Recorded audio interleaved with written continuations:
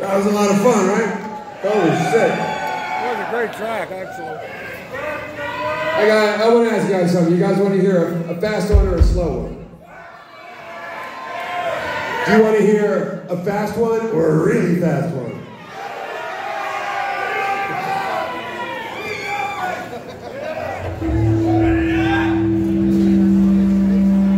This is on the, our last record, uh, Gravitron, and this one is called The War Claw.